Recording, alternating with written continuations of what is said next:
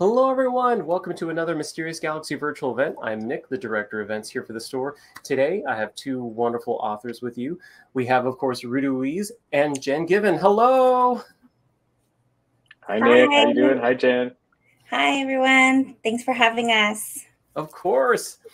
Uh, for those you may not know, Rudy uh, was raised around ranches and horses, reared on tales of the Old West and the Mexican Revolution, but then moved to Harvard and success as an award winning author of literary fiction. Now he brings his brand of polished storytelling, cultural immersion, and magical realism to create his latest work. I have to show it off Valley of Shadows, which is the book we are celebrating. Um, and a I have to say this a Western, Southern Gothic, and horror tale all wrapped in one. Love it.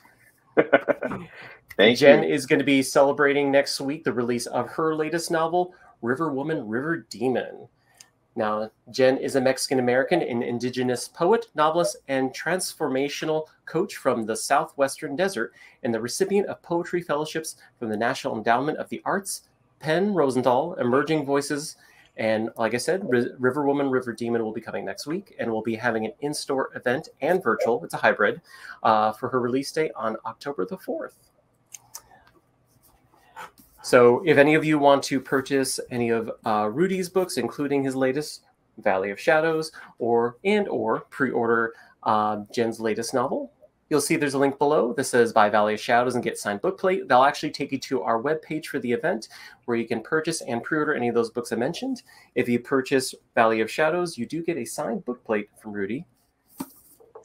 And if you have any questions that you want to ask, it looks like someone has already found that. There's a button below that says ask a question.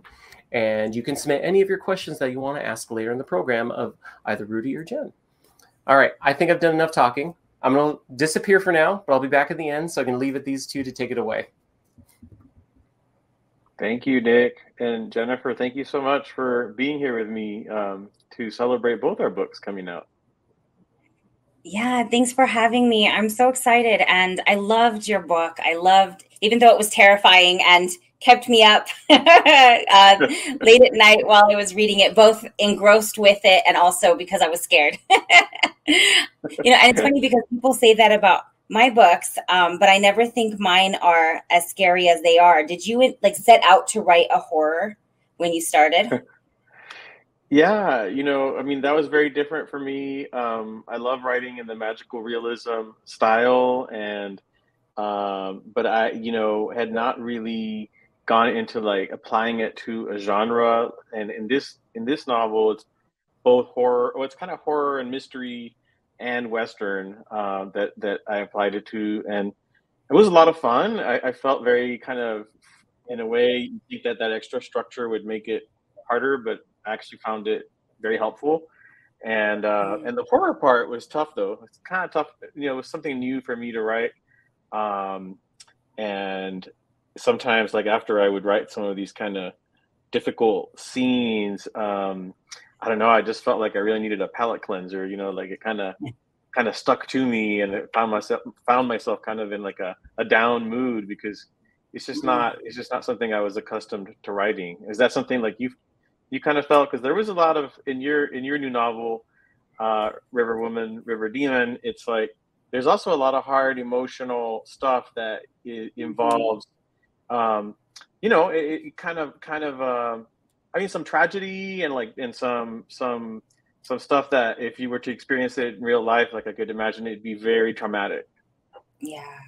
Yeah. I feel like there are a few things that I'm a mom. I have two kids. I know you have kids as well. And there are a few things that I feel like are off limits for me to write about right now, you know, with my kids at certain ages. And so, like, um, you know, I'm, I'm, working on a new book now, and originally uh, something was going to happen to a girl that was the same age as my daughter, and I, and like after a few weeks of wrestling with myself, I was like, nope, change of plot, just can't do it, you know. Yeah. And so I feel like there there are some things that psychically and emotionally I just won't touch. But then I feel like everything else that came from my own personal life, my own experience, and especially my past experiences in girlhood and, and early adulthood, um, once I write them onto the page, I can get as horrific as I need to because I feel like there is such a psychic release with that. You know, I've mm. given it to my protagonist, I've given it to my characters. It's no longer mine. Um, and then I'm able to fictionalize it and build this world around it. And it and so for me, I I don't feel like um, I'm not scared of it. And so I'm actually surprised when people tell me, you know, it's a horror. It kept me up at night. Or when someone says, like, it's like Stephen King. And I'm like, wow, because it, I, I guess because it's such a release for me, you know do you so do you feel that way like is there is there any of transmuting your own life or experiences like tell because you grew up on a ranch, right? So what was that like, like to transmute your own experiences onto the page book, to fictionalize it in this world, especially in the past? Yeah, yeah, no, absolutely. I mean, a lot like kind of how you describe it. I mean, with with a horror part, you know, fortunately, I had no personal experiences that were that horrific, uh, but it was really, uh, you know, as like both of our books. One thing I, I like about uh, that that we shared in common when I was surprised, like how much how there were some common themes you know when i read your book and and um, mm-hmm. that we both kind of drew i feel like we both drew inspiration from some kind of ancestral legends or myths um, that, mm-hmm. that tied in into the plot and sort of into the magical part of our stories um, and so for me that was really a source of inspiration like researching and studying um, you know, you may remember from when you read the book, um, you know, kind of studying sort of the Aztec rituals that end up uh, being a part of the story in Valley mm-hmm. of Shadows.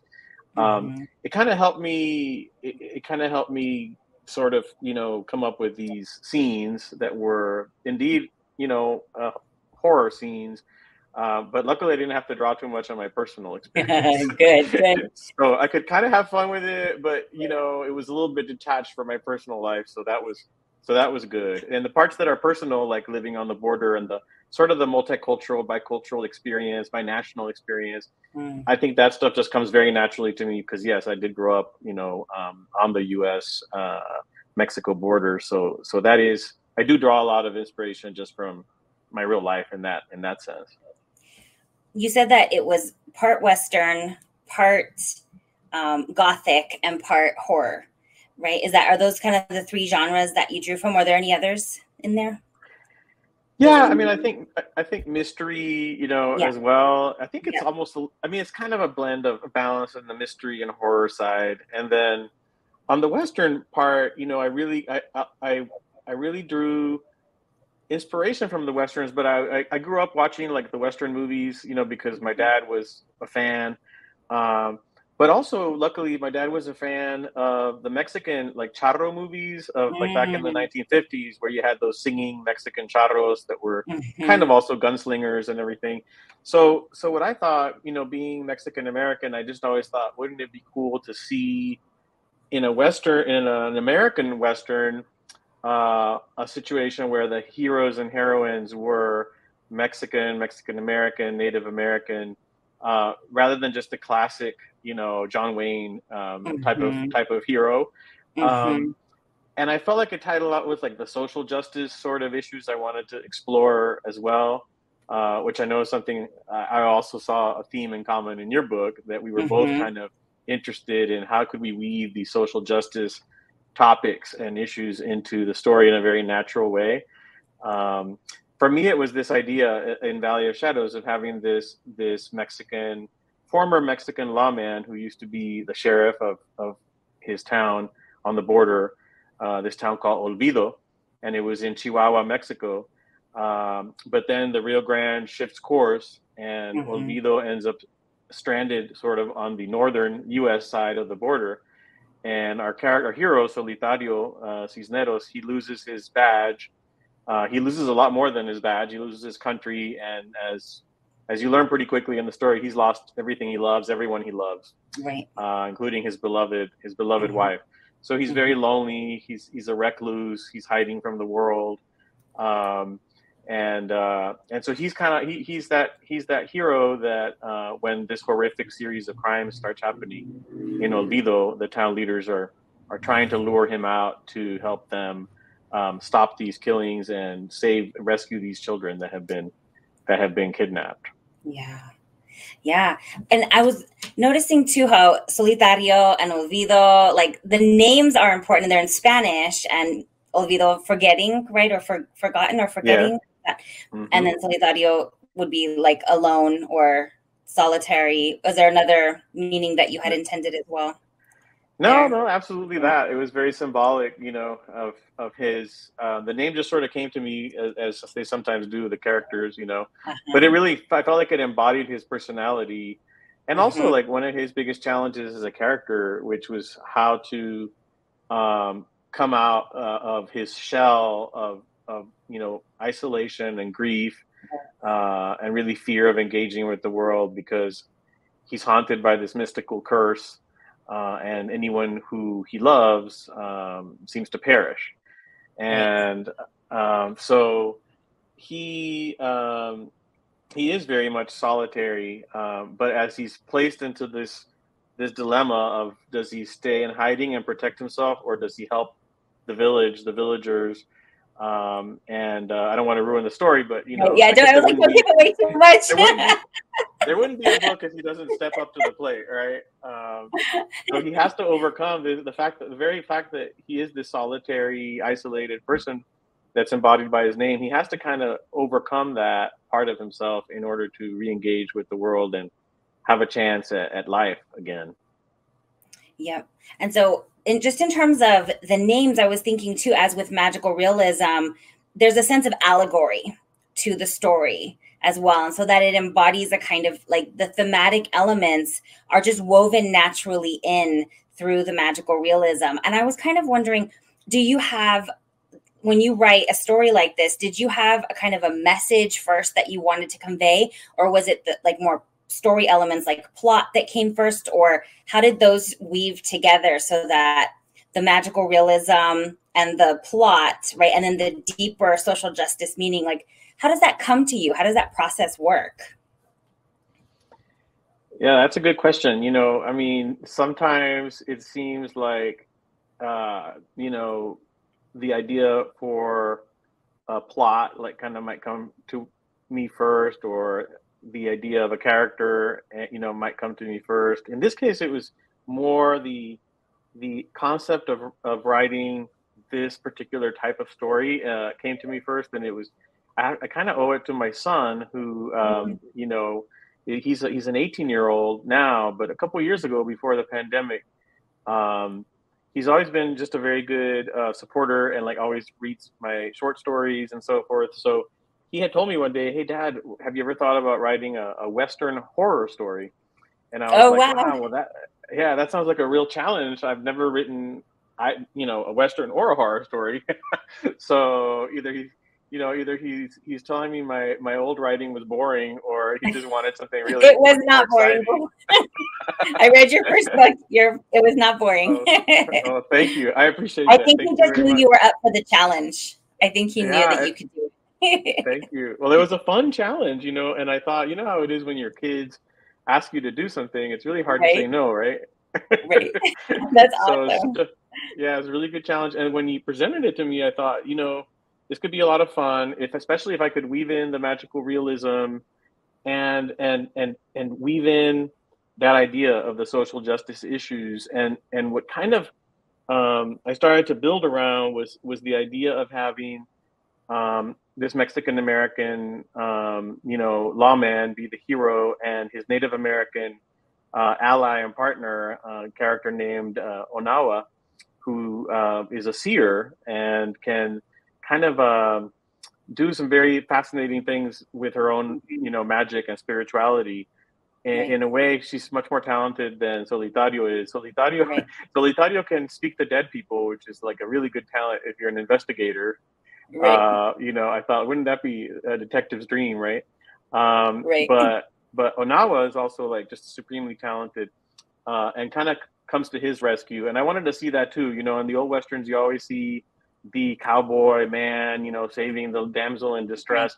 And I kind of wanted to flip it, and I wanted to see him constantly be saved by Onawa, and realize that you know she should really be probably the sheriff, not not him. But yeah, I love that I love that he knew that he needed her, right? And he goes and and he really has to convince her to be on his side. Well, not convince her. More, I was going to say more convince her father too. And I wanted to ask you, um, just in terms of some of the the story elements that you're giving homage to how do you modernize them and also you know flip the script so that you're subverting some of like some of the things in the past that might have been racist or bigoted toward Mexicans or toward indigenous people right? And so how do you flip the script so that you put them front and center? Like just where did you ever find yourself like pushing back against stereotypes and really you know doing that in a pointed way in your work? Yeah yeah. You know i think um, i was really interested in, because of the social justice aspects that i wanted to explore and as i was as i was writing this uh, manuscript um, it was during the pandemic and there the social justice um, was in front and center in the media with the black lives matter movement. Yeah and um, I, you know, I just thought that, that it was it was a great opportunity to address that. And I one of the questions that fascinated me was um, the idea of kind of imagine how different history, you know, might have been if people yeah. of color had been in positions of authority and power to be able to influence the course of that history. Um, yeah. And so that's why I wanted to, to explore this. And I, I did kind of push against stereotypes, I think, um, in a variety of ways. You know, one of, one of, one of the things, and I also wanted to push against just sort of history itself. Um, there was yeah. one particular event that occurred uh, that I that I learned about in the process of doing the research for the novel that is uh, known as the Porvenir massacre of 1918. It was um, it's an event not a lot of people know about. Um, but uh, basically, in 1918, there were 15. It was in a small town of uh, Porvenir, Texas, so kind of similar place like Olvido, just a small border town. And 15 Mexican and Mexican American boys and men were um, accused of stealing cattle in this town. There was no evidence uh, against them, um, but the Texas Rangers and the U.S. Cavalry rode into town, rounded up the 15, you know, boys and men. Um, there was no trial. There was no due diligence. They executed them in front of their families. Mm-hmm. Um, and then their families all fled in terror to Mexico, you know, across the, across the border. Um, and then the event was swept under the rug of history uh, for about 100 years. It took 100 years for the state of Texas to acknowledge that this had happened uh, and for a historical marker wow. or monument to be put up. So I kind of took. I wanted to sort of t- pay homage to a little, a little bit of homage to that, and took some mm-hmm. inspiration from that, and and tried to imagine what if there had been someone who could do something about that in that time and like save these people's lives, you know, and kind of right the wrongs of history, if you will. And so that's yeah. that's one of the scenes and that that um, is uh, is in the book. That if we do read a little bit from our books, uh, you know, I, I, can share a scene that was sort of inspired by that. Yeah, I'd love that. I think we'll have time. Um, yeah, was there were there any other questions that you had wanted to, to ask? I mean, to answer or to talk about? Well, you know, I mean, I, I was really curious um, to chat with you uh, as well because I have questions since I read your book and absolutely loved it as well. Um, I I you know, thank you for the for the honor of getting to read it. You know, before before it comes out. So that was that was also really cool. Um, I, I, I love the you know narrator uh, Eva. Uh, mm-hmm. I don't know if you pronounce it Eva or Eva. I, I tend to go with Eva because yeah, interchangeably. and in the book too, like for instance, she has her her children that are her exes. She calls them because they're both both of their names start with an X, and so there's Javier and Jimena. But like in my in my head, I interchangeably it's Xavier and Jimena or Javier and Jimena, and then Eva. It's either Eva or Eva, and either way. So yeah, however you so, pronounce it. that's so that's the Spanglish bicultural. Yeah, it's so authentic. Exactly. Because I, I, grew up being Rudy, Rudy, and Rodolfo. So you know. Exactly.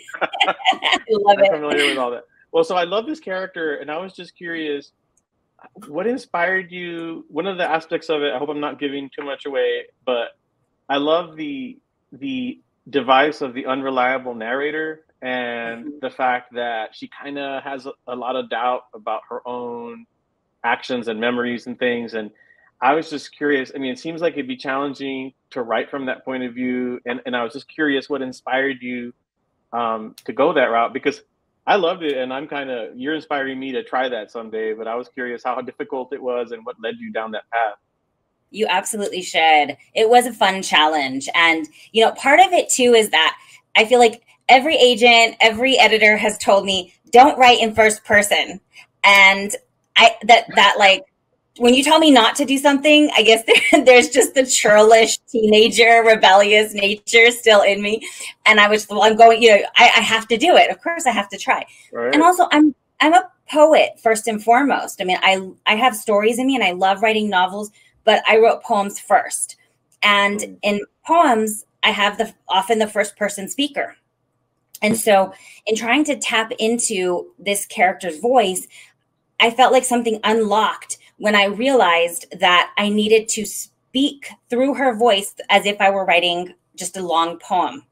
And so that's what the novel felt like to me, at least on the first draft. It was it was uh, much more in her head. I felt like I just needed to get to know her. And then I brought in quite a few more story elements on other drafts. And so um, it was really just getting her voice right. And it was a great exercise, you know, just for fun. But the major like thematic elements that were important to me in the unreliable narrator are that when I was first uh, mothering my children, I was going through some postpartum depression that was really severe for a, a, a couple of years there. And also, I was just exhausted, as so many parents will tell you, and especially mothers. I was nursing my daughter, so I was exhausted. And I feel like sometimes I, I would find myself slipping into, and I was in my MFA program too, on top of all that, and teaching. So, just, and writing novels. so, like, I was oh just doing so much. And so I would go into that kind of slippery place of memory and, you know, having some triggering of traumatic events from my past and just, um, you know all these things that i was imagining in my stories. And there would be moments of kind of nightmarish like not trusting yourself you know? And as a mom i found that was, such a you know a crucial issue that i had to trust myself to take care of my kids. I had to mother myself in order to mother my kids. And so that's eva's journey. That's her discovery is learning to trust herself and her strength and who she is as a mom and a woman um, and so it was really fun to play with the genre of that unreliable narrator in a murder mystery because I could get into a lot of these psychological issues that if I were just writing a memoir, for instance, I might be hesitant to talk about. You know that I would that we have sometimes these really dark thoughts, and we we uh, wonder like, who are we? Because especially as writers when we get into all these different characters perspectives and we're learning about the psychology of, of, you know human psychology and sometimes abnormal psychology we realize humans are capable of all kinds of stuff you know? And um and so from the perspective of a mom who has children to take care of a family to take care of right it was really interesting for me to get into that space of like what is it what would it mean right? If she is the villain and doesn't know it. I know that was so yeah. good. It was so yeah, good. It was I fun. You should totally try it. I, I loved it. You know, I mean, I appreciate like you know re- having read it because I do feel like you know as a writer you're always enjoying enjoying reading a good book like yours, but then you're also kind of taking mental notes. Like how how can I learn? You know, what can I learn from this? And I I love one aspect that I loved about this uh, book is just that the the way you approached it with the unreliable narrator and then sort of the suspicions cast around some of the characters that mm-hmm. are that naturally you want to like and you do like. I'm thinking about jericho her uh, mm, uh, eva's husband. you know. I never i never read a mystery i mean you know i've read mysteries where you are suspecting different people and you're kind of like thinking, oh, could it be this person because of X, Y, and Z? Or maybe it's this person because of A, B, and C. But in this case, I found my, myself more like, I hope it's not this person. Please don't be that person. don't be bad. Don't be that bad. You know, nobody's perfect. And that's another thing I love is that the characters are all very multidimensional. They're, they're not like perfect, you know, people, but that's what makes it authentic. But that's also what makes you afraid that could it could it be one of these people that you already like and root for? Could they be the ones that could have perpetrated some of these uh, terrible, you know, I guess crimes, if you will? Yeah, because I took ideas and situations from my own family dynamic, and so for instance, my husband, who is a, a black man, really was accused of a crime that the charge was later dropped. But that, you know, what that did to our relationship and how we had to overcome that and and grow and change together as a couple as well as individuals, you know, and and how that changed my point of view because I was coming at it, you know, originally as a woman who had been in an abusive relationship. And so I'm always like, always believe the woman, always believe the victim but then what do you do if you have a false accusation, potentially in my own family, against a man of color? Right. And so mm-hmm. it's like you're saying when justice, when, when, um, race and ethnicity comes into it and where there have been injustices right and so now you have two you, you know believe the woman believe the victim and also believe men of color too and potentially it, it's it's tricky. It's a like there's no right or wrong answer here. Um, but it was something that was so difficult in my own life that it was like like I said, it was a psychic relief. It was a breath of fresh air to be able to give this to another family and and have like the way that they worked it out. I feel like was a balm to my soul as a writer and as a woman, as a person, you know. And so it, I feel like um, in some ways writing is is like therapy for me you know yeah so, no i feel yeah. the same way yeah it is it is and it is therapeutic um and i mean i also feel like i, I mean I, I, think another common theme in the writing writing might be that when people read it people from other walks of life other perspectives that hopefully they they might gain some empathy like, like by these glimpses into these different lives these different worlds. And when I read that, um, you know, when I read the book and I and, and I and I thought about the dilemma um, that one, one that, that Jericho faced and that that his that Eva faced, I thought it was like just such an interesting, intimate glimpse into that feeling of almost hopelessness or that feeling of oh no i'm going to be suspected. And of course everyone's going to think i am guilty or, or everyone's going to think my husband's guilty even though i know that i'm not or that they're not you know?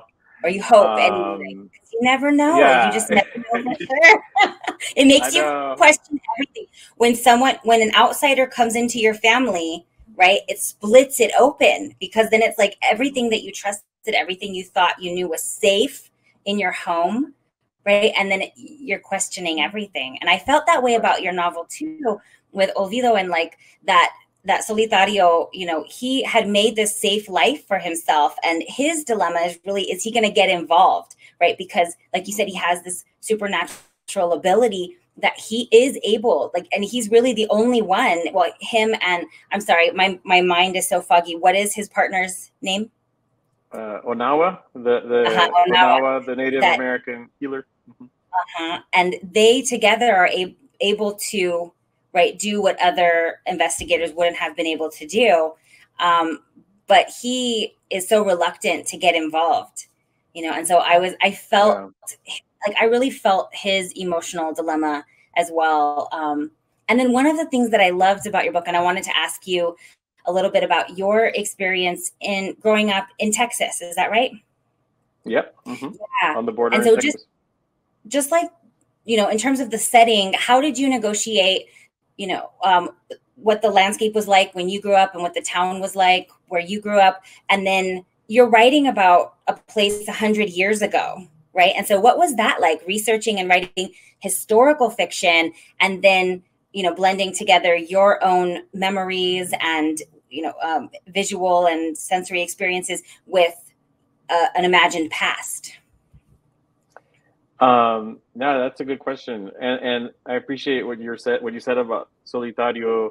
You know, the, the part about his dilemma, I feel like it really ties to grief. You know, and like that's something that I think makes it very relevant. Just you know, no matter the fact that it's set like back in 19, in the late 1880s, uh, but we humans, you know, we we we lose and we and we grieve, and sometimes in grief we we find some comfort or safety or we think we are finding that by isolating ourselves like shutting ourselves down from from the world you know because we don't want to really re-experience the, the grief or risk getting hurt again and like that's kind of what he what he's afraid of and since he can see spirits um i don't think i'll be giving too much away but there's one reason he always stays out on his ranch and it's that it's the one place where he can see the spirit of his departed wife who he you know loves very much uh, mm-hmm. and so leaving there it's almost like he can't bear leaving even for a moment and back in those days riding out you know on your horse and leaving the ranch and being gone for days to take on this job of investigating these crimes would mean just not being there to see the spirit and commune with the spirit of, of his wife. So to me, though, you know, that's all symbolic of just ha- um, a process of letting go and of having to heal from from the wounds of grief, you know, um, and and re-engaging with the world. But at the same time, you open up your heart, you're opening yourself up to being hurt again, obviously. Um, mm-hmm the, the the you know what you were asking about the border um, yeah you know i grew up in in a place called brownsville texas and matamoros mexico which is the southern tip of texas so right where the rio grande flows out into the gulf of mexico. And that's where i set my last novel the the resurrection of fulgencio ramirez. Mm-hmm. um, and so for this novel i kind of wanted to stay in that same world and it's sort of a prequel it's a standalone prequel to that novel. Um, but I wanted since it was it had to be a western. I thought, okay, it needs to be out in West Texas, you know, on the border, same border. And I was like, well, why would why would this why would this man leave if he's originally from that same land there, which in in the previous book I called La Frontera, a town called La Frontera. Um, why would he not be there anymore? And so I had to come up with his whole backstory is and, and because because of this curse that haunts the men in his family. Right uh, I figured the thing would be that he's trying to outrun the curse. He's trying to flee, and he right. thinks, you know, maybe if he runs, gets away far enough, he can escape this curse. And at some point in the story, he he does think that he has eluded the curse when he settles down and gets married in Olvido. But as right. we know, the past the past is very good at catching up with us. yeah. So so that's that's kind of what happened there. But you know, West the West Texas. Fortunately, um, I live in San Antonio, Texas, and so uh, I have taken several trips out to West Texas with my family. And something is so evocative about the desert. I don't think I have to tell you because, um, you know, right. uh, you've set several of your uh, stories in deserts, and uh, and so. And actually, my character goes to West Texas, so that was kind yeah. of funny too yeah, part of her part of her part of her sleuthing and sort of uh, investigating leads her, and and also just personal life leads her to West Texas in your right. story. And and I know I remember so uh, that your book also ends with some you know talk about the desert as well right. and about how strange things happen in the desert. And Absolutely. so yeah, the desert the desert is this place where it feels like almost like magic could be more natural. Yeah. Uh, yeah and i love setting it and it's kind of the desert is timeless right? So even though it's like 100 plus years ago it being in the desert the desert doesn't change that much. Um, right. it still feels the same. Mm-hmm. the monsoons come the winds come it just sweeps it all clean and it's just it looks the way it did always like you said. So yeah it's interesting it's interesting. again, so, that yeah the main thing that i drew from my own you know upbringing experience for the creation of Olvido, which is like a mythical a mythical town, was when I grew up on the border. The border was very much something that locals um, crossed back and forth, like right. almost on a daily basis. And so that I brought that sort of sensibility to Olvido, this idea that both sides of this river had been very kind of um, symbiotic and, and integrated. But when the river shifts course, all that's left is this wound, this this scar between the two sides mm. of the mm. town, with the dry riverbed. And um, yeah. I don't know. I found that that image to me was very haunting. Uh, the idea that this town was divided and the border was even more artificial and non-existent than it ever had exactly. been, and yet the town was still divided. Exactly. Yeah, yeah. and I felt like so, did it with with such wisdom and and empathy. And I didn't feel like the I, I felt like the message was clear, but it didn't feel like you were preaching at all. It was just observations made from the people of the town and um, Solitario himself, and he was very wise. You know, even as he had so much to learn, I just I loved his character. Um, so I think he did a great job of that, like of bringing in the kind of Western cowboy, um, but he's also a Mexican man, and um, he was a military man as well. Do you want to talk? Yeah. You mentioned at all his military experiences, which are formative, really, to his relationships um, with his deputy and uh, you know, and I feel like it was crucial to his character. Maybe he was like running away from something, right, by going into the military as well. Yeah, you know, being he he. I mean, this is another way that I think that his character pushes against the stereotype of Mexicans and Mexican Americans, like mm-hmm. in the Western genre. You know, usually those characters that were Mexican or Mexican American were either villains or they were just sidekicks, comic relief, right? Or they were like the town the town drunk, you know, right? Someone that couldn't be counted on. Exactly. Um, in the case of Solitario, you know, he is sort of the ultimate charro, which is a Mexican horseman that is mm-hmm. all about his honor. He wears that he wears that amazing sombrero, you know, mm-hmm. the the the the suit that's embroidered, the black suit that's embroidered with the silver buckles down the seams of the pants, you know. Uh, it's a very, um, it's almost like a, a version of the medieval knights of the of Europe, you know, but but in Mexico.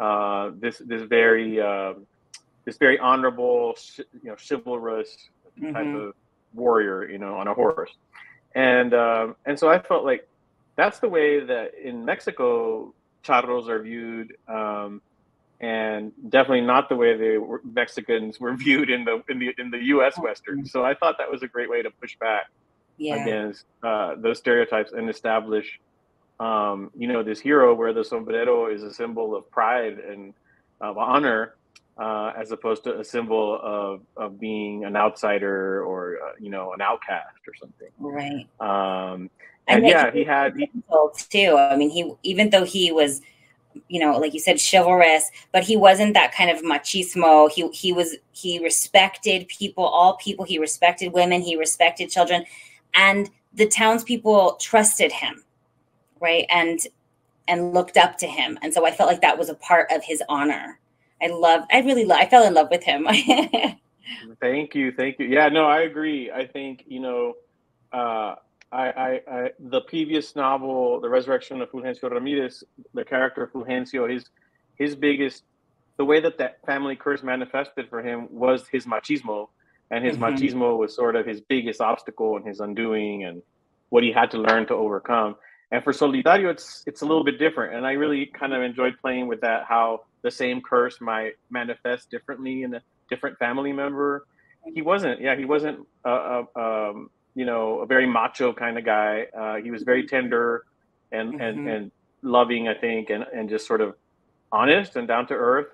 And I think a lot of mm-hmm. that, I mean, I hope it comes across a little bit in his backstory, but he, he was an orphan and he was raised by his grandmother, and his grandmother was very loving to him and nurturing to him.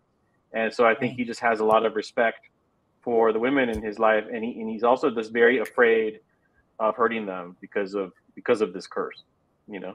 And his grandmother is a curandera, right? Is that would you describe her as a curandera? Yeah. Uh-huh. Yeah, and, I would. Yeah, she's kind of a curandera, kind of a bruja, you know, a little bit of a little bit of uh-huh. both. Right. Exactly. A little bit of both. Exactly. Yeah, I loved that. And that he he learned um like the ways of the spirit and the earth and a respect for uh, spirit and earth right through his grandmother. So that was really beautiful. And I felt a little bit of like um of Rudolfo Anaya's Bless Me Ultima were you influenced at all? I mean, I'm sure we. I feel like yeah, like all what you can writers were. Yeah. yeah, it's hard not to. It's hard not to. You know, it's just a wonderful. Uh, I mean, he was one of those uh, wonderful voices, you know, from our culture that paved the way to help us be right. able to celebrate those aspects of our culture that I think oftentimes, even within our own heritage, were marginalized you know Absolutely. whether it was whether it was classism or you know i'm not sure exactly what, what it was but um i think that that that i'm very grateful for that that past influence and for sure you know i'm influenced i'm influenced by him and um i think I, uh, that was one of the aspects that also fascinated me about your story was I wondered how you went about doing the research, um, and uh, you know for for the magic um, and and the spells and the different herbs and the different mm-hmm. things you talked about. Like I found it fascinating, and I was curious uh, what insights you might share. Yeah, quite a bit of it was a personal investment. Sorry, my I don't know why my computer has gone very dark, so it's like atmospheric here. I don't, my my light is still on, but like it got really spooky in here. I don't know. I hope you all can still see me.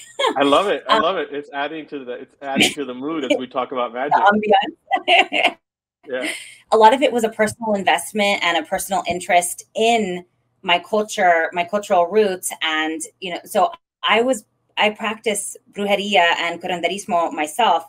Um, you know, not and not all of the elements of of of all of the practices, but I take what is just like Eva. I've learned to take what is um, healing, nurturing to my soul, and then leave out other aspects. You know that, and, and I love that magic is so flexible like that. It's not. Um, you know, th- there's not the same kind of structure that there is in in a structured religion. So I grew up Catholic and I still practice a lot of my Catholic roots, but I love that I'm able to bring in elements of the um, indigenous ancestry as well and um, and bring that you know to my altar. So I might have, for instance, um, I have a, a card here of Tonantzin, which is um, an indigenous version, Mexica or Aztec version of the Mother um, Mother Mary. Um, but then there's also like Tlazolteotl, who is a Mexica goddess and of divine love, and she's actually um, the eater of filth. And I loved that that idea that she wow. takes in filth and and purifies it. So anyway, it was just really a, an interest myself, and then I wanted to push back. So I I love um, Bless Me Ultima, but I felt like you know he was paving the way absolutely for Mexican American and Mexican writers, um, but then perpetuating some of the stereotypes of brujas as you know malevolent and evildoers. Um, and so I wanted to bring in a much more modern, much more um, you know a, a, much more holistic way of looking at families and and women and you know anybody who practices um, the the the rituals of our ancestors. So yeah, thank you yeah. for that. I think we might be at time to start I realize I could just talk to you forever, but I think yeah, well, this is fun. to start asking questions from the audience. Time, time to take questions from the audience. Yeah. Sure, okay. So we sure. have a question here um, from Raul Garza. Asks Rudy, how much is your fictitious town of Olvido, Texas, inspired by your hometown of San Benito? My late dad was born there too. I think we, oh, wow. we answered that. Maybe you could go into that a little more. Yeah, that's awesome, Raul. Well, thank you for the question. And it's always great to meet somebody else from the Rio Grande Valley. So thanks for being here.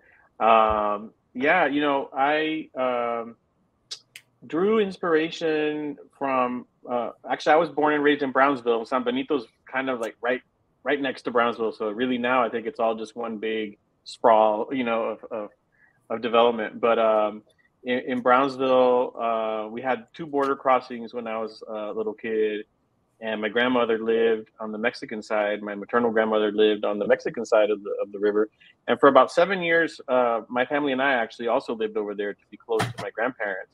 So uh, we commuted back and forth um, every day, and I, so from from I drew inspiration from that uh, that upbringing experience of of growing up in a very binational, you know, um, setting where, to me, the border felt um, kind of artificial. Even though I mean it was a river, but to me it felt like one seamless community. And then, of course, as one grows up and one starts to realize how that how how the divisions work out. Um, also, it changed a lot, you know, um, over the last dec- two decades. It changed a lot because of how the border just became more militarized and you know fenced and crossing back and forth just became so much more time consuming and difficult. Um, and, and so almost like the border has become weaponized, you know.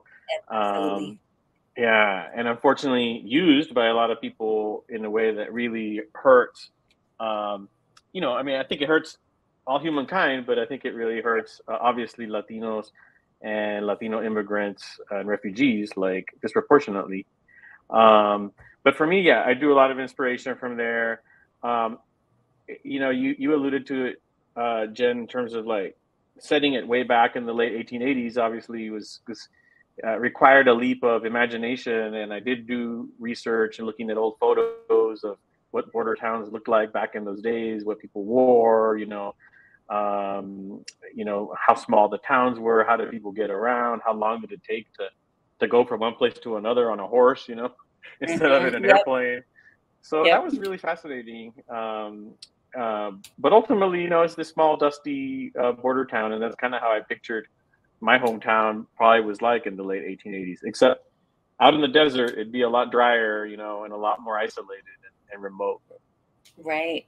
Oh, and I wanted to ask too. I'm gonna. There's a few more questions here. I'm gonna ask you. But what is your? Did your son read the book, and what did he think? Did Did you achieve what he wanted of your cowboy horror, western okay, horror? So he, he he's still working on it, and, and okay. this is the this is the tough part. He's a senior in high school, and okay. he's going through this his college application uh, process. So yeah. you know, I I um, I think he has to prioritize that, and hopefully yeah, he'll absolutely. get around to finishing. Proud of you, yeah, for proud of you for yeah. writing it.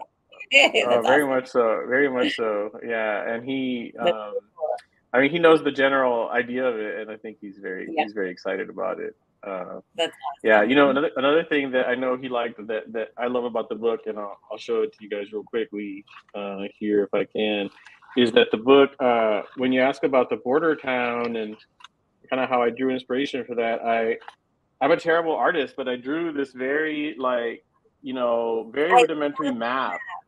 I loved it. I didn't yeah. know you drew it yourself. That's cool. I, I, drew I drew the original version, and then you know one of the artists at Blackstone Publishing, our mutual publisher, she yep. turned it into like these old antique looking uh, yep. maps, and and so I thought that'd be cool because I thought since this is a make believe town, uh, people might if they're reading the book, they might start looking for it online and just not find it, you know. so I thought it'd yep. be cool if we had the maps in the books and they could kind of people could picture themselves there in the uh, in this in this kind of mythical border town. I did. I kept finding myself going and well, I'm I, I love you know I'm a very visual person as well. So I've whenever I do research, I have to look at pictures and videos as, as I can. Um, and so I found myself going through the book and going back to the map, and then you know, and, and I love it too when oh, people awesome. put family trees and stuff like that. So I thought it was so cool that you added that. Thank you. Okay, I know I want to do a family tree next. you absolutely should. Okay, were there speaking of family trees, were there any characters that grew or lessened in importance through subsequent subsequent drafts? Hmm, interesting. Yeah.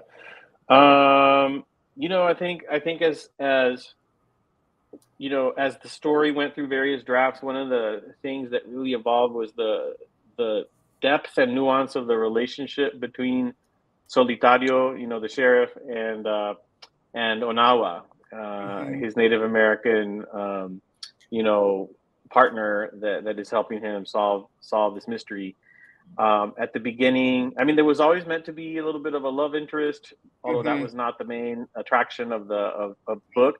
But I think the more and more that I wrote the book and rewrote and edited, more depth started to come to their relationship and like more complexity. And so her character, I think, really almost maybe steals the show a little bit. Yeah, yeah. I think, you know, because yeah, because I just think she's I mean, he's kind of he's she's just very interesting. I, I, think she's got a lot of potential as a character, and the more I wrote, you know, uh, and and as I went through the editing process, the, the more her character grew and her voice grew.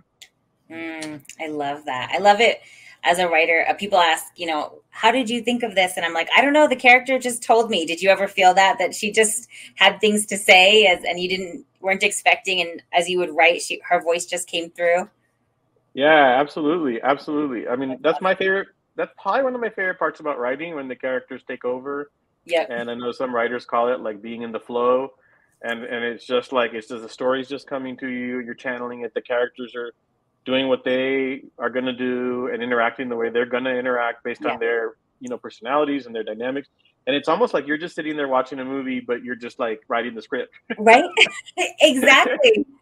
Uh, yeah, yeah, exactly. And I feel like you know that's to me the the mark that you've really hit on the story that you ha- like you know like you've created this world and now it's just organic and it's unfolding and it's that causal chain right? And so when when writers ask like how do you do that? How do you build a world? And it's like you just set up all the pieces and then if you've done it mm-hmm. right it, they're going to naturally start you know interacting with each other in these ways because we make decisions based on the the choices in front of us. And so I don't always know what the characters are going to choose. They choose, and then I'm like, okay, now buckle up. We're in for a ride because they made a choice. yeah. Yeah. And sometimes those are difficult choices, you know, and then you're right. like, oh gosh, how do I write my way out of this one now?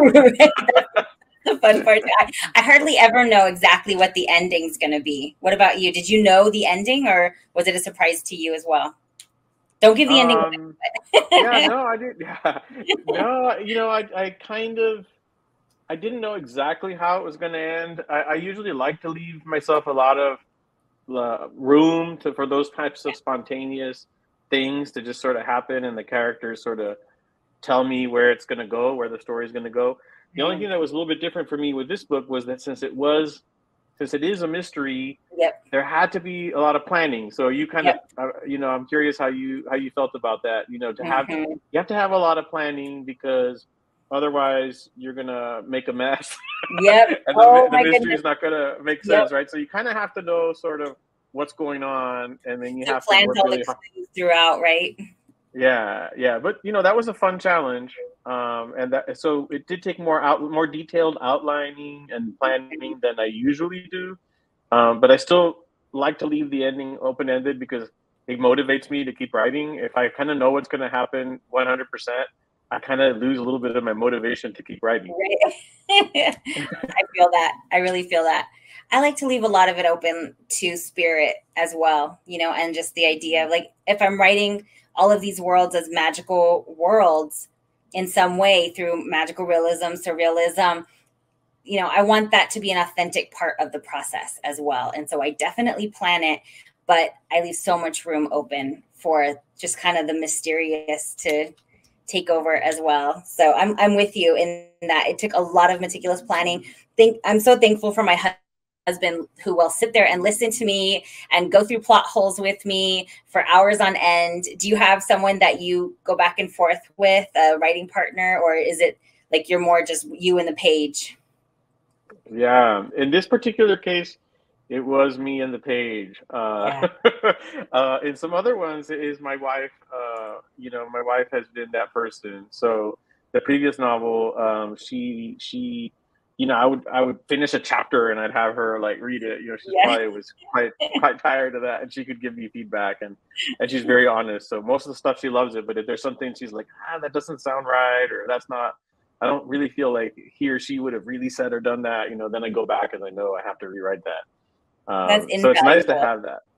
Yeah, yeah, it's nice to have that. In this particular book, it didn't it didn't go that way. I was really very much kind of like Solitario, you know, just sort of working on it in my own little bubble of, of isolation uh, during the pandemic. Even though my whole family was here in the house, everyone was sort of doing their own thing. Yeah, the kids we were going to school, you know. Yeah, I feel like in yeah. we were all in closed quarters. Like everybody needs their own project. so.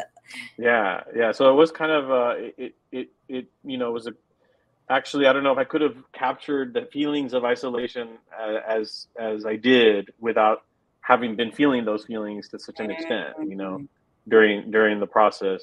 Mm-hmm. Um, and then and then you know like all of us have after the pandemic i'm sure like and are still working on it like the whole process of re-engaging and building com- rebuilding community and friendships and those kind of things a lot of that i feel like um, you know um, I, I kind of wrote about it as, as i've been experiencing it yeah um, I feel like we answered Serena's question about how long did it take you to write your book. Well, we, maybe no. I think we still should say how long did it take you, and then are we more of a pantser or a planner? I feel like we both sort of said we're both a little bit. Well, what do you think? yeah, I think so. Have to leave the spontaneous time too. you do. I think the spontaneous is just for me, it's like what keeps it fun. You know, Yeah. I want to be surprised and entertained too. If Right. if I'm bored while I'm writing it, I'm pretty sure the reader's going to be bored. right? yeah, exactly. Um, I is it Robert Frost? Someone says no surprise in the reader. I mean, in the writer, no surprise in the reader. So hmm Yeah. hmm I think Yeah, that, and you know one one thing I love about, and I don't know if you experience this with writing uh, magical realism, where some of your characters are still sort of come back, even though they've they've died in the earthly world. yes. Uh, I love that. I love that. I love writing in that style because sometimes, like, I know I won't give away which character, but when I was writing, one of my surprises was that one of the characters I meant to be alive for the whole story died. he got he got killed, and I just was like kind of terrified. I was like, oh my gosh, I just killed one of my favorite characters. Now what am I gonna do? Which And I was like, oh a yeah. heartbreaking scene. I was I was not expecting that to happen, and I was like, no. so I'm I know, very and then I grateful. was like, oh, oh, hey, we have go, we have ghosts in our story, so that's good. Yep. Exactly. exactly. I love it. There's so much freedom, I feel like, with magical realism. You know, it's Yeah. it's refreshing. And and like again, it goes into the world of allegory. And so you're able to talk about these really sometimes heavy thematic issues, but in a way that still feels, you know, whimsical, magical. Like in your book, I had it, even though there was there was darkness, there was a real evil right um in the in these murders and in the town but i also through your storytelling i felt the whimsy and i felt the like just this sense of like a, a- lightness a levity and, and a joy that permeated as well so Thank you. There was some humor, you know. as Yeah. I think we all need humor. yeah and then there there was i think a hopeful vision you know of like yeah we're dealing with difficult topics uh same thing i saw in your writing you know there was darkness but there was a lot of hope right and that's what always i tried to get across is you know life on the border life in life in america the, the challenges we face um, to bring more um, you know justice and, and and more equity and more communion between diverse um, you know people. Like they, those are difficult challenges and there's a lot of suffering and pain but i mean we have to look for positive solutions. We have to find the good people uh, you know that people can collaborate with and and build together and work towards better community together. And i love that that, that in the book solitario kind of finds that purpose in this town of Olvido that was pretty much dying uh, after the river shifted course and he kind of finds this purpose in in helping to save this town and helping to heal this community that's so beautifully said i think we're at time i wanted to ask you what you're working on now serena asked that question do we have time for that or are we Yeah, let's go ahead. What you both working on next?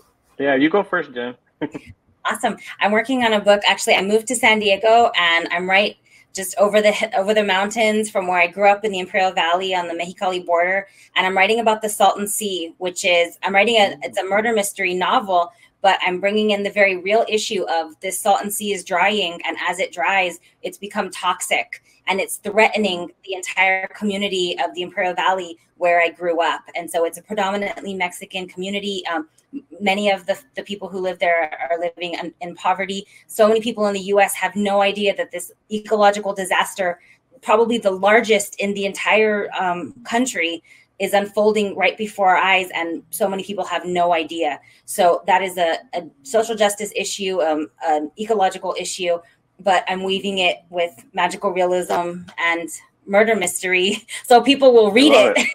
right And How are they going Right. to learn about it? Well, through a novel, of course.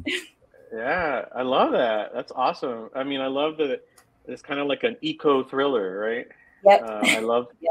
I love, I love weaving in, you know, climate related issues into these stories because so often, as we know, communities of color are, you know, just so disproportionately impacted by uh, pollution or you know climate change, um, and and so forth. It was kind of an issue that in Valley of Shadows I.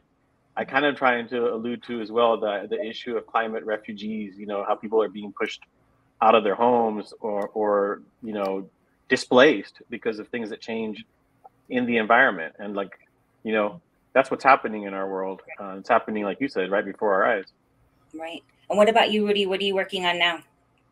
um I have a couple different uh, things. Um, one is possibly a sequel to Valley of Shadows. Um, I, you know, when I created, built that world and created those characters, I did find it very hard to just sort of leave them behind. So they do kind of keep talking to me. um, and uh, I'm you see so- ghosts now. yeah, so it's a possibility. And another one that I've been working on for a while that that is really close to, you know, being ready is I call it my border Bildungsroman. Uh, Mhm. but it's basically a coming of age uh, story set on the border, um, largely inspired, kind of semi autobiographical about my experiences growing up, like in the 1980s, Mhm. um, along the border. So one of those will be, I think, probably next. yeah, that's awesome. I look forward. Great. And lastly, before we cut it out, because we are at that hour, where can people find you on social media so they can follow your progress on what you're working on? Oh yeah, Jenn, you go first. yeah, I'm on all the social media. I'm going to just say Jenn Givhan. There's how you spell my name. I'm Jenn Givhan on Facebook and Instagram, and then switch it around. I'm Givhan Jenn on Twitter. So come hang out with us.